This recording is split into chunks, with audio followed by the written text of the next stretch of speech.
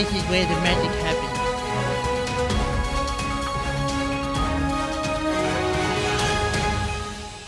Brian To'o here reporting live from the Panthers Academy.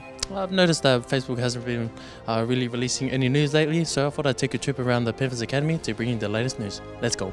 Here we are with my man Apisai, just getting a little insight of what goes around in the Panther Academy.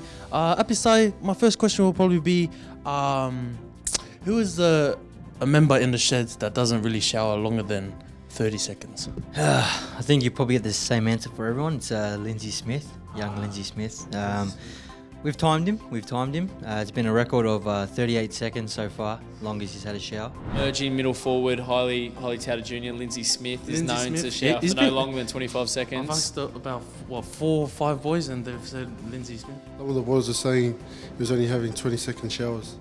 Hey!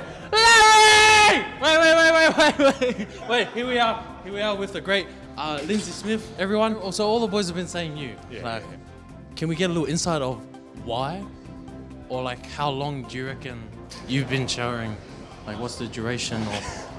Well, they've been good lately, but I just got stitched up once. Oh, Leo Martin! What's up, Mauso? If you were to be any other national, national, national, any, any other nationality, what would it be? Any what? Nation, nationality? Nationality. Nationality, yeah, that one. Nationality. Yeah, who would you be? Samoan. Someone. Why? Love you, bro. Yeah, that's awesome. Can you please cut out that nationality? Is it national nationality? Nationality or nality? Here we are with my man, uh, Robert Jennings. Um, just want to ask you a few questions, brother. Now, um, just get a little insight of um, you know, what goes around at Panther Stadium, a little syndesmosis. And now with the weather report, Stephen Crichton.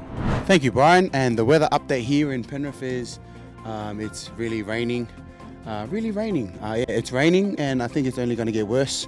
Um, and yeah, that's the weather here in Penrith. Thank you, Brian. Back to you. That's the latest news at the Academy. Thanks for tuning in.